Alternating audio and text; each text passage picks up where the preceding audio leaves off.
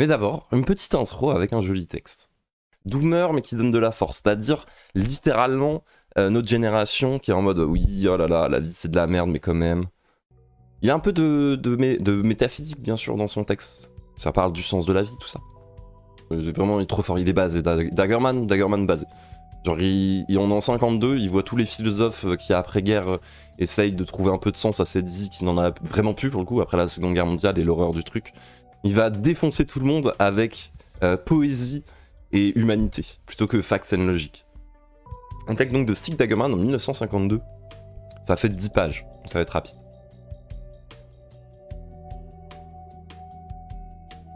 Je suis dépourvu de foi et ne puis donc être heureux, car un homme qui risque de craindre que sa vie ne soit une errance absurde vers une mort certaine ne peut être heureux.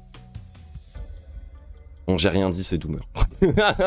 j'ai rien dit, c'est turbo Doomer. Dieu est mort, il n'y a plus de religion, on peut plus croire en rien, la vie c'est de la merde. C'est terrible. On peut donc pas être heureux. Je n'ai reçu en héritage ni Dieu ni point fixe sur la terre d'où je puisse attirer l'attention d'un dieu. On m'a pas non plus légué la fureur bien déguisée du sceptique, les ruses dessus du rationaliste ou la candeur ardente de l'athée. Je n'ose donc jeter la pierre ni à celle qui croit en des choses qui ne m'inspirent que le doute, ni à celui qui cultive son doute, comme si celui-ci n'était pas lui aussi entouré de ténèbres. Cette pierre m'attendrait moi-même car je suis bien certain d'une chose, le besoin de consolation que connaît l'être humain est impossible à rassasier. En ce qui me concerne, je traque la consolation comme le chasseur traque le gibier. Partout où je crois l'apercevoir dans la forêt, je tire. Ok le chasseur, ok euh, nature, euh, chasse, pêche et découverte là, je sais pas comment ça s'appelle, le parti, hein, le parti de la chasse là. Souvent, quand je tire donc, quand je crois l'apercevoir, souvent je n'atteins que le vide. Mais une fois, de temps en temps, une proie tombe à mes pieds. Et comme je sais que la consolation ne dure que le temps d'un souffle de vent dans la cime d'un arbre, je me dépêche de m'emparer de ma victime. Qu'ai-je alors entre mes bras? Puisque je suis solitaire, une femme aimée ou un compagnon de voyage malheureux Puisque je suis poète, un arc de mots que je ressens de la joie et de l'effroi à Bander l'arc des mots, bien sûr, hein, de l'écriture. Hein. Hum, hum, hum, Puisque je suis prisonnier, un aperçu soudain de la liberté. Puisque je suis menacé par la mort, un animal vivant et bien chaud, un cœur qui bat de façon sarcastique. Puisque je suis menacé par la mer, un récif de granit bien dur. Sous-entendu auquel m'accrocher. Pour ne pas me noyer. Mais il y a aussi des consolations qui viennent à moi sans y être convié et qui remplissent ma chambre de chuchotements odieux. Je suis ton plaisir. Aime-les tous. Je suis ton talent, faisant aussi mauvais usage que de toi-même. Je suis ton désir de jouissance. Seuls vivent les gourmets. Je suis ta solitude. Méprise les hommes. Je suis ton aspiration à la mort. Alors, tranche. Effectivement, ça parle de un petit peu de suicide aussi. Là, c'est la consolation euh, un peu extrême de euh, trouver un peu de l'outrance dans tout ce que tu fais, quoi. Donc, euh, dans le plaisir, se noyer dans le plaisir quelque part. Le fil du rasoir est bien étroit je vois ma vie menacée par deux périls. D'un côté, les boucles avides de la gourmandise, de l'autre, par l'amertume de l'avarice qui se nourrit elle-même. Mais je tiens à refuser de choisir entre l'orgie et l'ascèse, même si je dois pour cela subir le supplice du grill de mes désirs. Pour moi, il ne suffit pas de savoir que, puisque nous ne sommes pas libres de nos actes, c'est excusable. Ce que je cherche, ce n'est pas une excuse à ma vie, mais exactement le contraire d'une excuse, le pardon. L'idée me vient finalement que toute consolation ne prenant pas en compte ma liberté, elle est trompeuse, qu'elle n'est que l'image réfléchie de mon désespoir.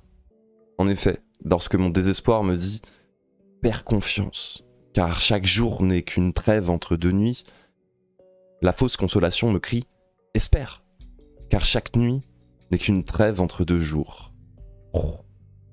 Mais l'humanité n'a qu'à faire d'une consolation en forme de mot d'esprit. Elle a besoin d'une consolation qui illumine.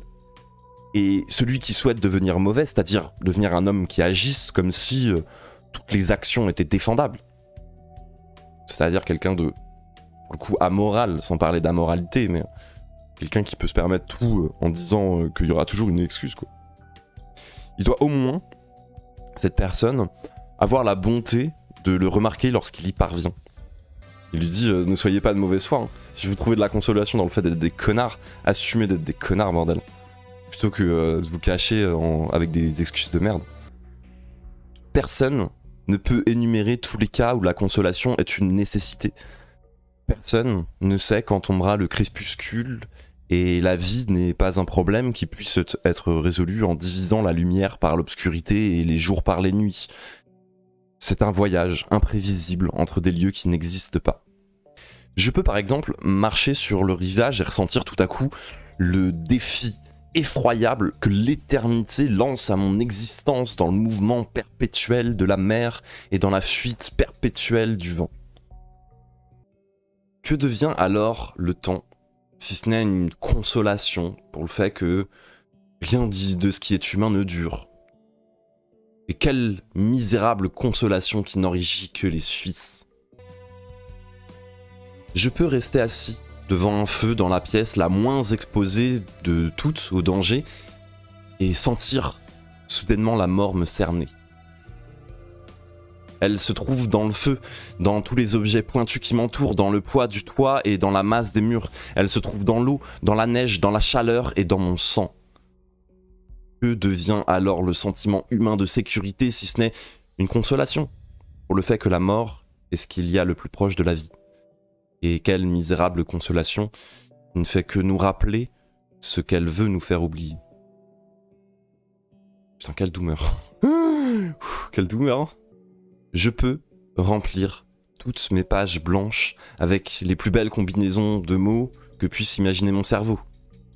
Étant donné que je cherche à m'assurer que ma vie n'est pas absurde et que je ne suis pas seul sur Terre, je rassemble tous ces mots en un livre, ce livre, et je l'offre au monde.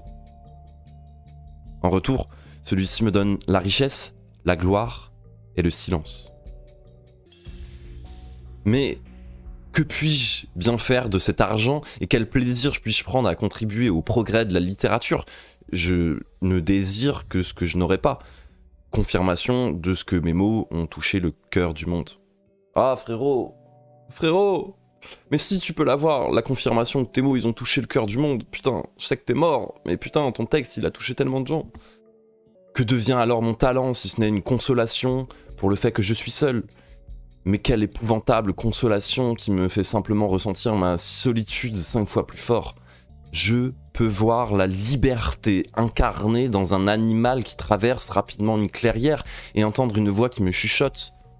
Vis simplement, ce que tu désires et n'aie pas peur des lois. Mais qu'est-ce que ce bon conseil, si ce n'est une consolation pour le fait que la liberté n'existe pas, et quelle impitoyable consolation pour celui qui s'avise que l'être humain doit mettre des millions d'années pour devenir un lézard? Il y a une note de bas de page qui dit dans l'île des condamnés, Daggerman symbolise par le lézard l'insensibilité et la fermeture à autrui. Pour finir, je peux m'apercevoir que cette terre est une fosse commune dans laquelle le roi Salomon, Ophélie et Himmler reposent côte à côte.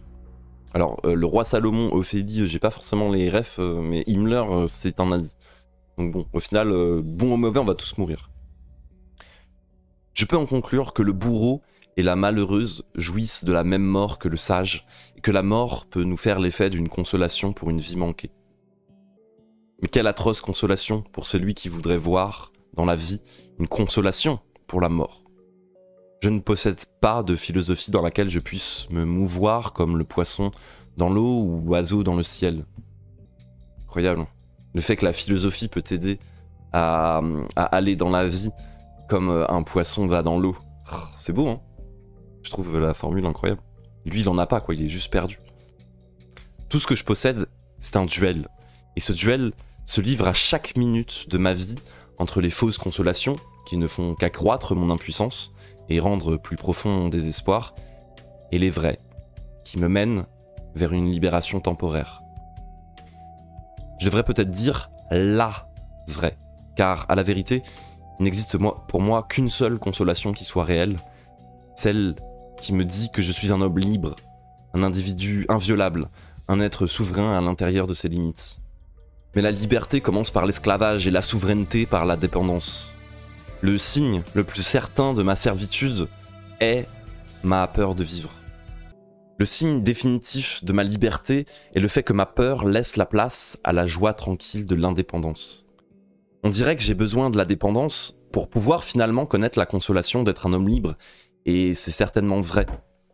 Puis c'est même, euh, sans être certainement vrai, c'est que t'as pas trop le choix à un moment de passer par là, de toute façon, d'avoir, d'avoir cette peur de vivre et cette dépendance, quoi. Et on passe par là, c'est tout.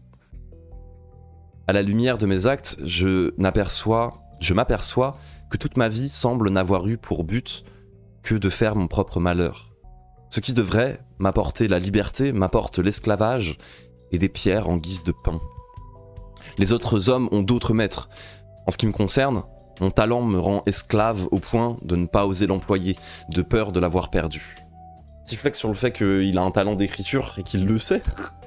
De plus, je suis tellement l'esclave de mon nom que j'ose à peine écrire une ligne de peur de lui nuire. Et, lorsque la dépression arrive finalement, je suis aussi mon esclave. Mon plus grand désir est de la retenir, mon plus grand plaisir est de sentir que tout ce que je valais résidait dans ce que je crois avoir perdu. La capacité de créer de la beauté à partir de mon désespoir, de mon dégoût et de mes faiblesses.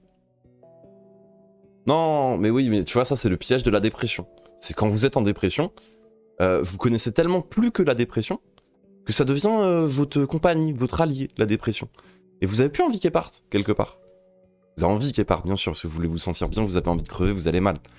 Donc quelque part, si elle était pas là, bah vous sauriez plus comment ressentir des choses de la vie. Au moins, elle vous fait ressentir quelque chose. Au moins, elle vous fait sentir paradoxalement vivant. C'est très étrange hein, comme sentiment. Pour avoir été dépressive pendant des années, je le sais, tu vois que euh, genre c'était devenu une part intégrante de ma personnalité, tu vois. Et, euh, et plutôt que de, de vivre d'autres sentiments et d'autres déceptions, tu préfères rester tout le temps bas, tout le temps dans le mal. Ça, t'as pas à subir l'espoir qui s'effondre. Tu vas tout le temps mal. Après, il a un peu raison, quand t'es en plein bonheur, t'as pas spécialement envie d'imaginer des trucs. T'as déjà euh, suffisamment à savourer.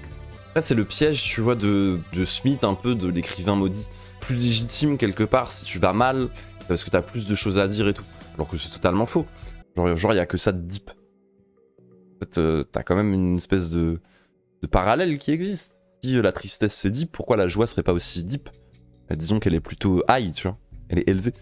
Et on a plus habitué à savoir décrypter, analyser en quoi ta tristesse elle est profonde, en quoi elle est complexe que ta joie. Parce que euh, quand tu vas pas bien, t'as envie de comprendre pourquoi tu vas pas bien. Alors que comme tu dis, Shazam, quand t'es heureux, bah t'as pas envie de savoir pourquoi t'es heureux. Alors qu'en fait, il y a plein de raisons, plein de micro-raisons, plein de complexités aussi qui participent à ta joie.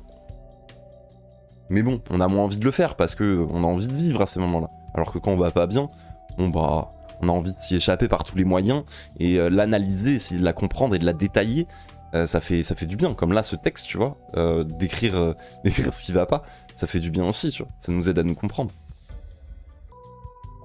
Avec une joie amère, je désire voir mes maisons tomber en ruine et me voir moi-même enseveli sous la neige de l'oubli.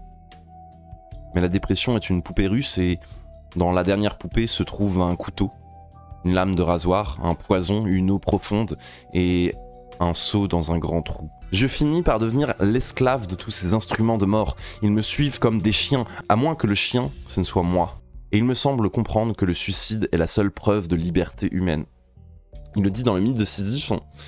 42. Bon, ok, d'accord, c'est Daggerman qui a piqué cette phrase à Camus alors. Mais phrase incroyable. Hein. Commencer par dire que le suicide, c'est la plus grande question philosophique. Euh, ah, la claque, hein. La claque, hein. Tu te confonds. En fait, c'est juste la confrontation de la première question philosophique que tu demandes en général dans ta vie et qui te fait turbobader, qui t'amène à une dépression et que beaucoup fuient, c'est c'est quoi le sens? Pourquoi en fait? Pourquoi? C'est pourquoi? Quel est le sens de la vie? Question euh, mène euh, souvent à cette question du, suicide. C'est vraiment euh, l'angoisse existentielle. Parce que quelque part, on n'est pas les, les, survivants de la métaphysique, quoi. Mais, je reprends la lecture. Mais, venant d'une direction que je ne soupçonne pas encore, voici que s'approche le miracle de la libération. Ah, cela peut se produire sur le rivage. Et la même éternité qui, tout à l'heure, suscitait mon effroi, et qui est maintenant le témoin de mon ascension à la liberté. En quoi consiste donc ce miracle? Tout simplement dans la découverte soudaine que personne, aucune puissance, aucun être humain n'a le droit d'énoncer envers moi des exigences telles que mon désir de vivre vienne à s'étioler. Car si ce désir n'existe pas, qu'est-ce qui peut alors exister? C'est vraiment le retournement de euh, bah finalement, ce qui me déprime dans le monde peut pas euh, m'enlever l'envie de vivre puisqu'à la base j'avais pas un désir de vivre. Le doomer euh, met sa carte piège. En fait, plus tu la fréquentes aussi ta dépression, c'est ça qu'il faut se dire. C'est que personne peut vous faire de mal plus que vous-même. Ton mal-être t'enferme dans toi-même pour te protéger de choses qui extérieurement pourraient te faire encore plus mal. Et en fait, quand t'as été longtemps dans cette dépression, t'es aguerri à ça. T'es déjà balèze face à la dépression. Et tu continues à avoir peur que la vie te fasse mal, mais tu t'es tellement habitué à ça. Tu es devenu tellement plus fort. Et ça, tu réalises pas que la dépression t'a rendu plus fort, quelque part. Tu restes fragile, parce qu'on est toujours fragile. Bah, tu peux toujours retomber en dépression, parce que c'est la vie. Simplement, tu, sais mieux comment t'occuper de toi-même pour en ressortir. Et t'es moins fragile vis-à-vis de ce qu'il y a à l'extérieur. La vraie force, entre guillemets, c'est te connaître. Parce que tu sais euh, où aller, tu sais quand te préserver, tu sais quand euh, éviter de te faire mal, fuir une situation difficile quand tu te sens pas bien. C'est la meilleure réaction à avoir. C'est celle qui va te préserver, qui va te t'éviter de te faire du mal. Et parfois, se confronter à la chose, c'est pas toujours de la manière dont on l'entend. Pareil avec la dépression. Il y a des trucs que tu peux pas esquiver indéfiniment, c'est ça. Il y a un moment ou un autre, c'est ça qu'il faut se dire, c'est qu'envers soi-même, il y a un moment ou un autre, il faudra, il faudra faire face à ces idées et les confronter. Et bah, ce qui est intéressant, c'est que ce genre de texte, ce genre de réflexion là qu'on a de ce qu'on dit, c'est ça qui peut te donner des bases, des structures pour les affronter et les réfléchir, parce que tu peux pas les esquiver indéfiniment.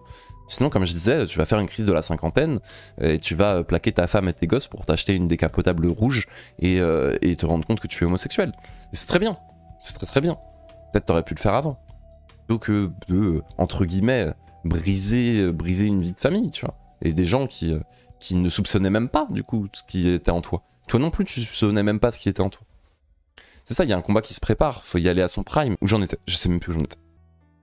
Puisque je suis au bord de la mer, je peux apprendre de la mer. Personne n'a le droit d'exiger de la mer qu'elle porte tous les bateaux, ou du vent qu'il gonfle perpétuellement toutes les voiles. De même, personne n'a le droit d'exiger de moi que ma vie consiste à être prisonnier de certaines fonctions. Allez, voilà, l'ode à la liberté, bordel. Pour moi, ce n'est pas le devoir avant tout. Le devoir avant tout, c'est une, devise apparemment du roi Gustave VI Alphonse. Pour moi, ce n'est pas le devoir avant tout, mais la vie avant tout. Tout comme les autres hommes, je dois avoir droit à des moments où je puisse faire des pas de côté et sentir que je ne suis pas seulement une partie de cette masse que l'on appelle la population du globe, mais aussi une unité autonome. Ce n'est qu'en un tel instant que je peux être libre vis-à-vis de tous les faits de la vie qui, auparavant, ont causé mon désespoir. Je peux reconnaître que la mer et le vent ne manqueront pas de me survivre et que l'éternité se soucie peu de moi. Mais qui me demande de me soucier de l'éternité? Ma vie n'est courte que si je la place sur le billot du temps. Les possibilités de la vie ne sont limitées que si je compte le nombre de mots ou le nombre de livres auxquels j'aurai le temps de donner le jour avant de mourir. Mais qui me demande de compter? Le temps, c'est pas l'étalon qui convient à la vie. Au fond, le temps, c'est un instrument de mesure sans valeur, car il n'atteint que les ouvrages avancés de ma vie. Le temps, c'est même pas une bonne façon de calculer la vie. Genre, c'est pas ça le plus important. C'est quoi le plus important alors? Comme disaient des proches, le temps est relatif, se coincer deux doigts dans la porte, et chaque seconde devient infinie. Mais tout ce qui m'arrive d'important et tout ce qui donne à ma vie son merveilleux contenu, la rencontre avec un être aimé, une caresse sur la peau, une aide au moment critique, le spectacle du clair de lune, une promenade en mer à la voile, la joie que l'on donne à un enfant, le frisson devant la beauté, tout cela se déroule totalement en dehors du temps. Oh.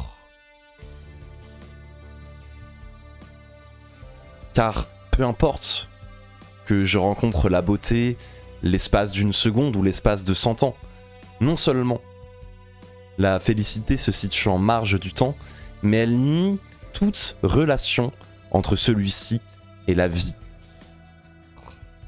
C'est là où la poésie vient nous sauver. Qu'est-ce qu'on s'en branle du temps qui passe, du fait que ça dure pas éternellement, quand il euh, y a des moments où tu peux ressentir des trucs euh, incroyablement beaux? Je soulève donc de mes épaules le fardeau du temps et par la même occasion celui des performances que l'on exige de moi. Il aurait tellement pas aimé le monde capitaliste actuel euh, à base de il faut surperformer absolument tout. Ma vie n'est pas quelque chose que l'on doive mesurer. Ni le saut du cabri, ni le lever du soleil ne sont des performances. Une vie humaine n'est pas non plus une performance, mais quelque chose qui grandit et cherche à atteindre la perfection.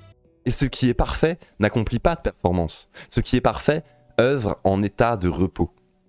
Je pense que ce qui veut dire quand il y a quelque chose de parfait, c'est quelque chose de, fini et qui se satisfait à lui-même. Il est absurde de prétendre que la mer soit faite pour porter des armadas et des dauphins. Certes, elle le fait, mais en conservant sa liberté. Il est également absurde de prétendre que l'homme soit fait pour autre chose que pour vivre. Certes, il approvisionne des machines, il écrit des livres, mais il pourrait aussi, tout aussi bien faire autre chose. L'important est qu'il fasse ce qu'il fait en toute liberté et surtout en pleine conscience de ce que, comme tout autre détail de la création, il est une fin en soi. Il repose en lui-même comme une pierre sur le sable. Je peux même m'affranchir du pouvoir de la mort. Il est vrai que je ne peux me libérer de l'idée que la mort marche sur mes talons, et encore moins nier sa réalité. Mais je peux réduire à néant la menace qu'elle constitue en me dispersant, en me, pardon, en me dispensant, je vais relire la phrase. Mais je peux réduire à néant la menace qu'elle constitue en me dispensant d'accrocher ma vie à des points d'appui aussi précaires que le temps ou la gloire. Par contre, il n'est pas en mon pouvoir de rester perpétuellement tourné vers la mer et comparer sa liberté avec la mienne. Le moment arrivera où je devrais retourner vers la terre et faire face aux organisateurs de l'oppression dont je suis victime. C'est vraiment Stick Daggerman et Karen. Hein. Il est en mode quand je vais mourir, je vais aller me plaindre aux organisateurs de l'oppression. Je vais aller me plaindre à Dieu et à ceux qui ont créé la vie. Hein. Ah, euh, je, vais aller, je vais aller protester au service après-vente. Hein. Parce que bon, euh, c'était bien sympa votre bail, mais euh, bon, c'était un peu en kit. J'ai dû me construire un petit peu propre, mon propre sens de la vie euh, sans vous, quoi. Vous avez oublié de donner le mot d'emploi Quel gauchiste, hein. Il va créer un syndicat. Ce que je serais alors contraint de reconnaître, c'est que l'homme a donné à sa vie des formes qui, au moins en apparence, sont plus fortes que lui. Même avec ma liberté toute récente, je ne puis les briser. Je ne puis que soupirer sous leur poids. Par contre, parmi les exigences qui pèsent sur l'humain, je peux voir lesquelles sont absurdes et lesquelles sont inéluctables. Selon moi, une sorte de liberté est perdue pour toujours ou pour longtemps. Il Faut bien se souvenir que la dépression, elle est, fausse dans la perception qu'elle fait du monde, parce qu'elle donne l'impression qu'il n'y a aucune liberté qu'il n'y a aucun plaisir à tout ça. Genre, c'est exactement ce qu'il décrivait au début de son texte de quand tu trouves une consolation, donc euh, quelque chose qui te donne un peu de sens à la vie, tu vas soit l'user à outrance, avec, orgie, il a dit, te baigner dedans et, euh, peut-être te laisser submerger par elle, soit au contraire la refuser totalement et refuser tout le reste qui n'est pas cette consolation, et être dans l'ascétisme absolu, ne vouloir rien ressentir et refuser tout le reste. On parle, d'équilibre finalement. C'est la liberté qui vient de la capacité de posséder son propre élément.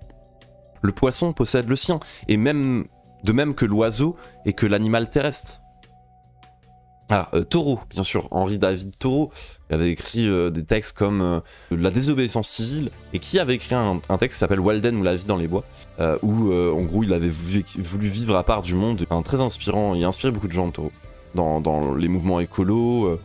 Taureau avait encore dans la forêt de Walden, mais où est maintenant la forêt où l'être humain puisse prouver qu'il est possible de vivre en liberté, en dehors des formes figées de la société? Je suis obligé de répondre. Nulle part. Et en plus, dans son livre, en vrai, Walden dit que il faut pas se couper totalement de la société, mais se mettre à un endroit où tu puisses avoir les avantages de la société de temps en temps. Donc, pouvoir aller au village, rencontrer des gens, parce que sinon la solitude te fera trop de mal. Si je veux vivre libre, il faut pour l'instant que je le fasse à l'intérieur de ces formes. Et oui, le monde est donc plus fort que moi. Et je rajouterais qu'il n'y a aucune honte à, avoir à ça. On n'est pas obligé d'être euh, d'être dans ce sentiment euh, de force et de surpassement tout le temps. Tu, ne peux pas être plus fort que la société. Elle, est- plus forte que toi. C'est pas grave de l'admettre. Tu peux devenir un turbo-élitiste méprisant des autres parce que toi tu as tout compris, etc. Tu vas te tromper de cible et devenir juste un, con. Euh, en attaquant euh, ceux qui sont victimes de ce que tu détestes. Le monde est donc plus fort que moi. À son pouvoir, je n'ai rien à opposer que moi-même. Mais d'un autre côté, c'est considérable. Car tant que je ne me laisse pas écraser par le nombre, je suis moi aussi une puissance. Et mon pouvoir est redoutable, tant que je puis opposer la force de mes mots à celle du monde. Car celui qui construit des prisons s'exprime moins bien que celui qui bâtit la liberté. Les forces progressistes qui proposent de construire font plus avancer l'histoire que les forces réactionnaires qui veulent juste ralentir. Mais ma puissance ne connaîtra plus de bornes le jour où je n'aurai plus que mon silence pour défendre mon inviolabilité, car aucune hache ne peut avoir de prise sur le silence vivant. Telle est ma seule consolation. Je sais que les rechutes dans le désespoir seront nombreuses et profondes, mais le souvenir du miracle de la libération me porte comme une aile vers un but qui me donne le vertige. Une consolation qui soit plus qu'une consolation et plus grande qu'une philosophie, c'est-à-dire une raison de vivre.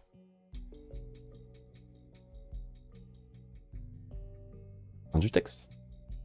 Finalement, euh, la philosophie, pour lui, ça reste un peu trop faible, quoi. Parce que euh, elle devient trop impersonnelle. Et lui, il veut aller chercher plus dans l'affect, dans le ressenti, dans le vivant, dans ce qui te fait sentir vraiment vivant.